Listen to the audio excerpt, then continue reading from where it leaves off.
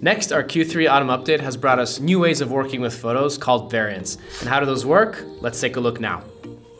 To use this feature, just right click on the photograph and select Create Variant. This will create a new variant of the original and we can edit this as a standalone photograph with the advantage of barely taking any room on our hard drive. We can create numerous variants without feeling pressured to actually choose one. Right now we have the original, unedited, a grayscale, and let's add a preset to this third one. Once you're happy with all your choices, you can then simply choose them and compare them side by side.